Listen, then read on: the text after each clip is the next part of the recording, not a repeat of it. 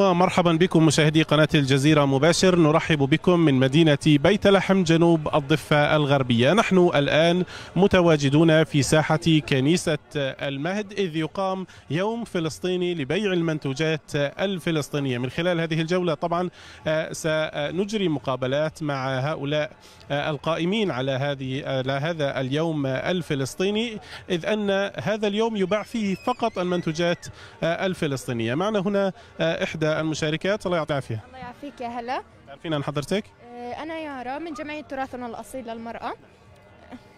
آه، أنا يارا من جمعية تراثنا الأصيل للمرأة. آه، شاركنا في هذا المعرض اليوم عشان نعرض المنتجات اللي بنعملها بالمؤسسة وهي شغل يدوي. في زي صابونة الجمل شغل يدوي. في دبس كل أنواع الدبس زعرور دبس عنب كل أنواع المربى تطلي تين عنب مشمش وتين. وفي كمان عندنا زيتون وزبدة. وفي كمان نشتغل على المعجنات البيتية. يعني كل شيء آه، هن في في هذا المعرض هو منتج محلي. منتج محلي صح. صنع يدوي كمان. لو تعرفين أكثر عن ما بيميز هاي المنتوجات الفلسطينية بامتياز؟ آه، اللي بيميزها أول إشي آه، نظافة الشغل. وإنه هي مصنوعة بماكينات جودتها عالية ومجربة. يعني بضمن لك الشغل الموجود 100% شغل نظيف يعني بتختلف عن غيرها من المنتوجات إنها خالية من المواد الحافظة أيضا؟ خالية من المواد الحافظة صح. يعني من الناحية الصحية هي أفضل. أفضل. يعني معروف إن فلسطين بتشتهر بهي الأشياء آه، وخصوصا الدبس والملبن والأمور هاي. من أراضي وإحنا عشان مؤسستنا بيت جالة فإحنا بنتعامل مع مزارعين بيت جالة. فزيتون مثلا أخذناهم من مزارع. والعنب اللي كمان بنستخدمه للدبس. عنب من أراضي. شكرا. في عنا كمان معجنات في عنا تطلي.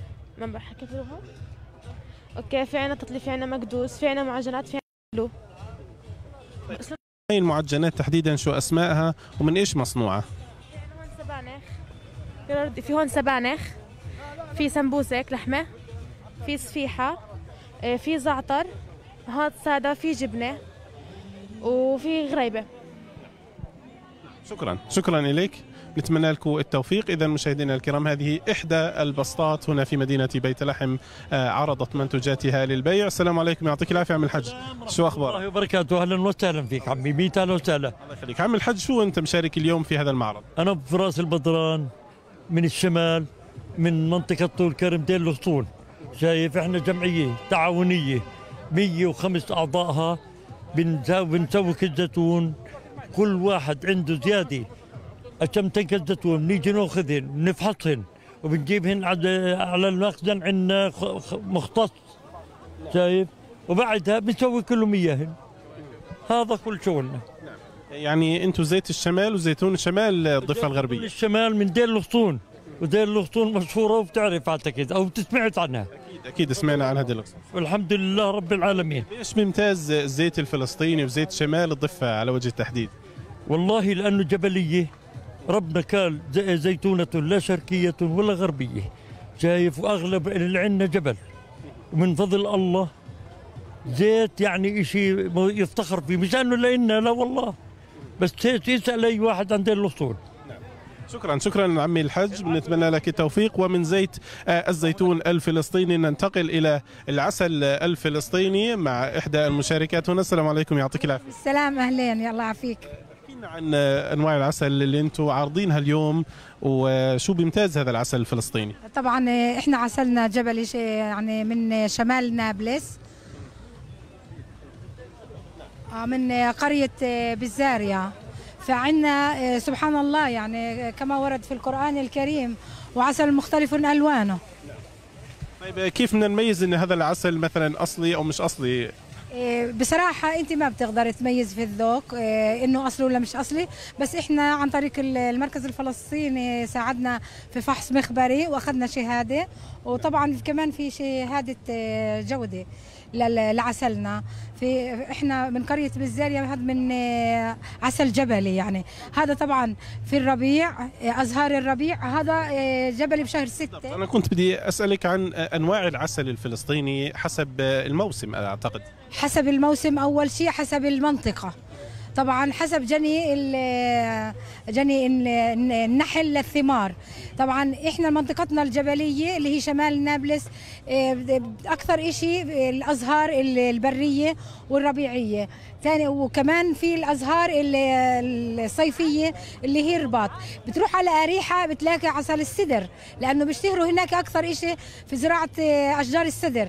مثلا بتروح على آه، طول كرم ومناطق اللي كانت آه، ال- الحمضيات فبتذوق طعم الحمضيات. سبحان الله مخ... حسب المنطقة الفلسطينية وأنا حسب المنطقة وحسب الأزهار بتاخد عسل. شكرا شكرا لك. نتمنى لك توفيق. إذا ننتقل مشاهدينا الكرام آه، إلى بسطة أخرى.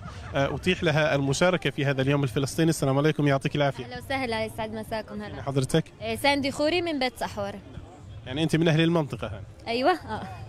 شو الأشياء اللي اليوم أنت عرضتيها للبيع في هذا اليوم الفلسطيني؟ إيه، أنا مشروع جديد إيه، صابون تشكيل للمناسبات للأطفال للكبار إيه، هي فيه يعني أشكال صغار في صابون جواها لعبة بنشجع الطفل إنه يغسل ويطول اللعبة خصوصا يعني في جائحة الكورونا. كنت بدي أسأل عنه يعني مناسب جدا هذا العرض مع جائحة كورونا وخصوصا أن يعني الأطفال بحاجة للنظافة بشكل أكبر والكبار طبعا. آه مزبوط. آه، هو مشروع خلق آه، من جائحة الكورونا فدائما ركزت على الأطفال أكثر. إحنا بنعرف إن آه، الصابون وخصوصا الصابون النابلسي مصنوع من الزيت أو بقايا الزيت. آه، هذا الصابون اللي أنت عرضيته اليوم من إيش مصنوع؟ آه، من صابون جليسرين وروائح طبعا ريحتها حلوة وعطورة وألوان وهيك أشياء حلوة. شكرا. لك. نتمنى لك التوفيق. معنا هنا إحدى المتسابقات يعطيك العافية. أهلين يا هلا. كيف شايفه المعرض بشكل عام؟ كيف شايفه هذا اليوم الفلسطيني؟ أتاح لكم مثلا التسوق بطريقة منيحة؟ لسه أنا هلأ اجيت هاي بنتي ساند ساند تكون بنتي. فاجينا نشجعها ونشوف إيش في كمان وإن شاء الله بنشتري طيب أكيد يعني شفت البسطات عرضات شيء كثير مميز اليوم وكثير حلو. آه حلو حلو. يعني. بتيح للمواطن الفلسطيني إنه يتسوق أشياء بأسعار منيحة. أسعار مناسبة بالنسبة للوضع اللي إحنا فيه. أنت مع يعني تشجيع هاي الفكرة وإقامة معارض؟ مية في المية أكيد. طبعا نشجع المنتوجات الوطنية دائما. شكرا شكرا لك اذا هذا المعرض هو أقيم آه، بالدرجة الأولى لتشجيع المنتج الفلسطيني. السلام عليكم الله يعطيك العافية. آه، يعني كما تشاهدون الآن مشاهدينا الكرام في الصورة آه، الزعتر الفلسطيني. الله يعطيك العافية. الله يعافيك أهلا وسهلا فيكم. حكينا باختصار عن الزعتر الفلسطيني. طبعا هذا زعتر فلسطيني مكوناته ممتازة. نسبة الزعتر فيه عالية نسبة السمسم كمان عالية في سماء. في زيت زيتون كمان. يعني من أرض فلسطين ومن خيرات فلسطين وطعمه ممتاز ومواصفاته ممتازة. وشو بخصوص الزيت؟ يعني الزيت يبدو من لونه إنه مميز كمان اليوم. أكيد هذا زيت زيتون بلدي معصور على البارد قطفة أولى من المعصرة مباشرة. آه، بنكون مشرفين على عملية العصر من الحب حتى يطلع زيت مستخرج بكون آه، تحت إشرافنا وكله ضمن المواصفات الفلسطينية. آه، احكي لنا عن مشاركتك يعني هل مثل هاي المعارض بتتيح لكم المجال لتسويق آه، بضائعكم؟ وخصوصا إن إحنا في وضع استثنائي وضع اقتصادي ربما صعب على المواطنين. ممكن أنتم بتعرضوا بضاعتكم كمان بأسعار أقل شوي. نعم صحيح. لها أثر إيجابي. آه، ولكن آه، توقيتها مش مناسب كثير. يعني غالب انعمل آخر الشهر 31 الشهر. مفروض ينعمل آه، في بداية الشهر يكون الموظفين قابضين رواتبهم. ينعمل لها دعاية بشكل أفضل وتسويق بشكل أفضل كمان حتى يكون الحضور آه، ممتاز و وفي الحركة نشطة لأنه دائما بتكون بالسنوات السابقة كانت الحركة أفضل من هاي السنة. شكرا شكرا. لك إذا مشاهدينا الكرام هذا آه، المعرض آه، يعرض فيه كل شيء فلسطيني. السلام عليكم يعطيك العافية. ازيك عافية. آه، شو الأشياء اللي بتبيعها أنت اليوم في هذا المعرض؟ أنا هو زميلي ببيع من جمعية بس هو بيبيع ميرميه جبلية طبعا من الخضر وزبيب و هي ميرميه جميلة. الجبليه بإيش بتمتاز عن المرمية العادية؟ أتوقع ريحتها يعني كثير مميزة. إذا بتشم ريحتها مليحة. اثنين هاي الميرميه آه، مشتكي يعني بعل. آه، تتحمل التنشيف. هذا زبيب آه، بلدي طبعا من الخضر. الزبيب للي ما بيعرفه هو مصنوع من العنب. من العنب آه تنشيف العنب. هذا دبس. أيوه دبس عنب. وهذا؟ الدبس بيحتاج لجهد كبير لحد ما يوصلنا بهاي الطريقة وجاهز للاستخدام. زعرور تطلي الزعرور. هاي هذا تعطي زعرور هذا.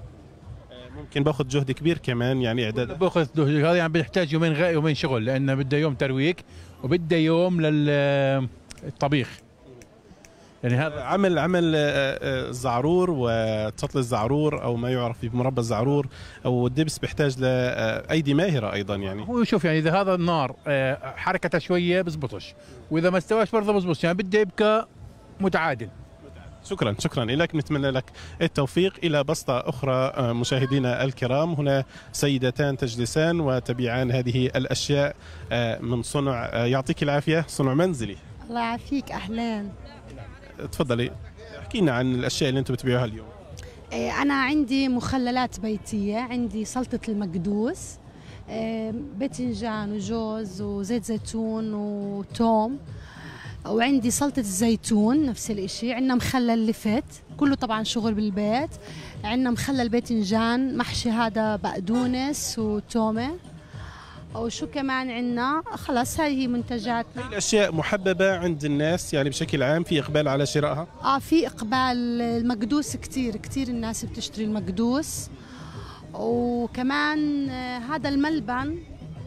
لزميل راح راح انتقل لها كمان شوي تحكي لنا. مش شغل الملبن شغلها هي يعني. هي هي المنتجات بشكل عام في إقبال عليها من قبل الناس؟ آه هو في إقبال والناس بتحبها بس يبدو إنه أوضاع الناس مش سامحة لهم يشتروا حاليا. يعني بالأول كان في إقبال شديد نحكي.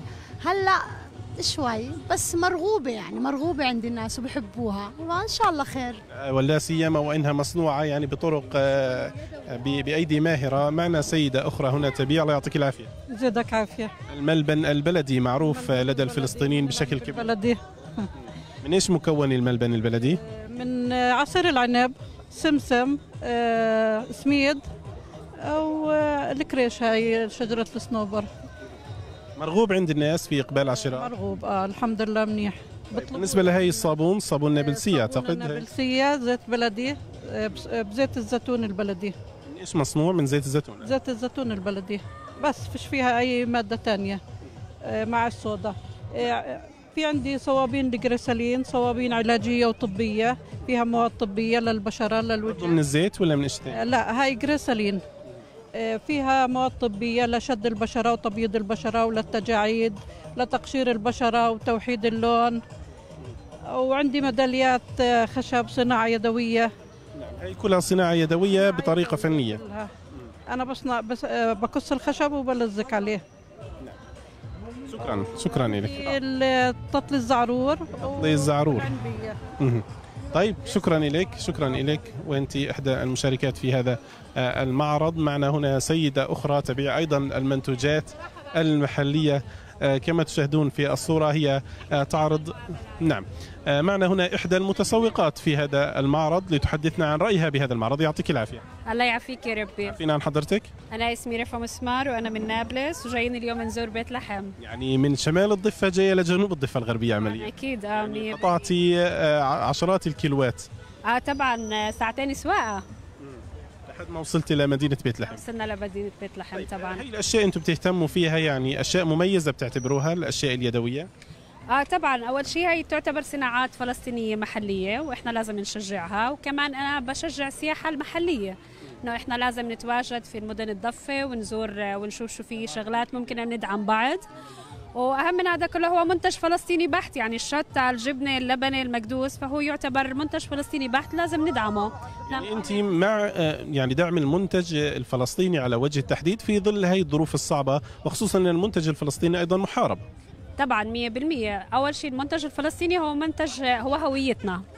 وأكلنا هو هويتنا وهو موروثنا. فبالتالي إن الموروث الفلسطيني لازم إنه ندعمه ونتواجد دائما في إنه نشتري ونشجع على صناعته زي المشاريع الصغيرة اللي بتكون زي هيك أو مشاريع الشابة.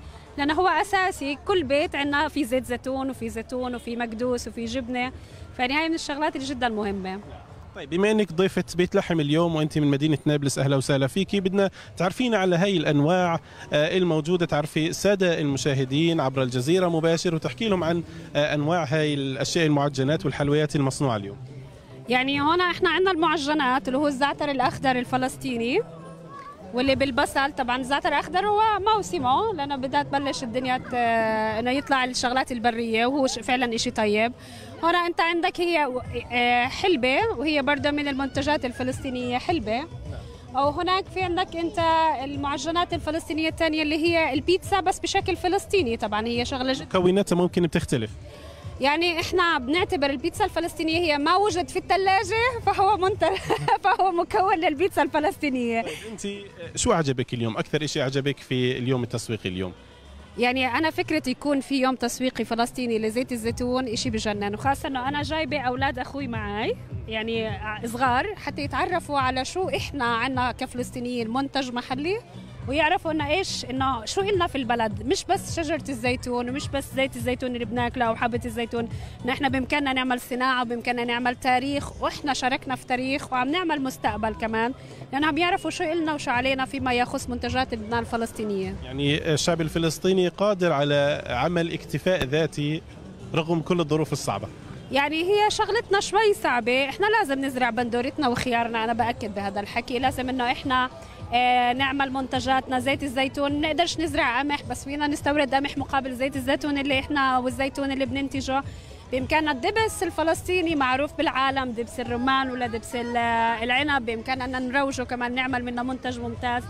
فأنا بالنسبة لي لو زيت الزيتون الفلسطيني الزيتون الرومي مثلا إحنا هذا فخر لنا لأنه شجر رومي عمره آلاف السنوات. فبعتبر إنه عندنا ما نستطيع أن نقول به عاليا لدينا تاريخنا الفلسطيني ونحن ثابتون وها هنا على أرضنا باقون.